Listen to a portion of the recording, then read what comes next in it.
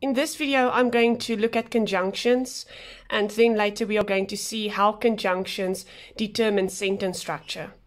We are going to start with a different type of conjunctions. We have more than two types of conjunctions, but for the sake of grade 8, we are only discussing coordinating conjunctions and subordinating conjunctions. So in order for us to understand coordinating and subordinating conjunctions, I would say the best way is to compare them next to each other. There are many subordinating conjunctions. There really is a list of them. But if we know the seven coordinating conjunctions, of course it will be easier for us to know the subordinating conjunctions. So my tip to you is know the seven coordinating conjunctions. These seven coordinating conjunctions spell a word, so it is even easier to remember them. The word they spell is fanboys.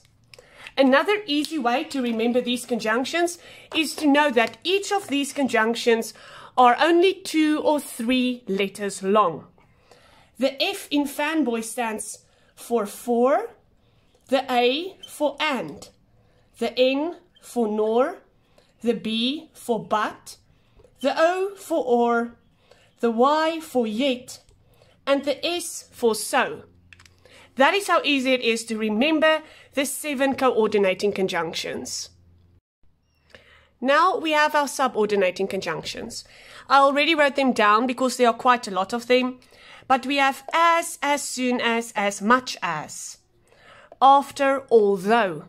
You can remember although and though together. Then we have because and before.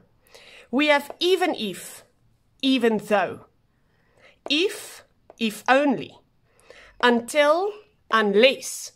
And you can remember till with until and though with although. Then we have now, once, rather than, and since. When, whenever, where, wherever, while, and whether. And that is why you understand that I say that it is much easier to know these seven, because if you know these seven, then automatically you will know these ones as subordinating conjunctions. Now, let's compare coordinating conjunctions and subordinating conjunctions to see what type of sentences they form.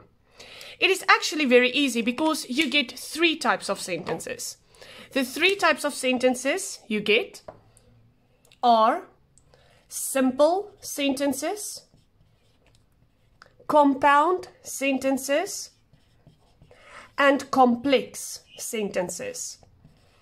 And depending on the number of conjunctions and the type of conjunctions in the sentence, then we will see if it will be a simple, a compound, or a complex sentence. If there are no conjunctions in the sentence whatsoever, then it is a simple sentence. If we have only coordinating conjunctions in the sentence, it is a compound sentence. And if we have only subordinating conjunctions in the sentence, it is a complex sentence. So, to summarize it, coordinating conjunctions in a sentence form compound sentences. That is what coordinating conjunctions do. So if you see a sentence with only coordinating conjunctions, and you remember those are the fanboys conjunctions, then those are called compound sentences. Subordinating conjunctions in a sentence, and listen, there can be one coordinating conjunction or many, one subordinating conjunction or many. But if there are subordinating conjunctions in the sentence, it means that that sentence is a complex sentence. Subordinating conjunctions form complex sentences, and no conjunction in the sentence means that it is a simple sentence.